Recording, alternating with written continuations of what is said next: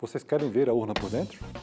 Este daqui é o terminal do mesário, ele fica aproximadamente 3 metros do terminal do eleitor, onde o eleitor vota, para que os mesários consigam controlar a votação aqui e ter todo o status da votação. Se a urna por acaso está desconectada da energia elétrica, vai começar a aparecer um indicativo aqui, se o eleitor está votando, se o eleitor está demorando, mas de modo algum o terminal do mesário mostra qualquer informação sobre o próprio voto do eleitor. Isso é completamente garantido pelo sistema da urna eletrônica, que é aberto aos partidos políticos e mais outras 15 entidades, classes de entidades permitidas por resolução. O terminal do mesário também tem um leitor leitor biométrico. Esse leitor biométrico faz com que a identidade do eleitor seja ratificada ou verificada. Então, o eleitor apresenta seus documentos, os mesários vão olhar esses documentos, vão ver se é um eleitor apto daquela sessão e, depois de indicar qual é o número do título do eleitor, o eleitor vai apor sua impressão digital aqui. Caso ele não seja reconhecido, há um procedimento que o mesário consegue liberar, colocando sua própria impressão digital, mas tanto a impressão digital do mesário quanto a última impressão digital do eleitor são gravadas no equipamento e isso pode ser utilizado para algum tipo de verificação verificação posterior. Bom, esse é o terminal do mesário por dentro.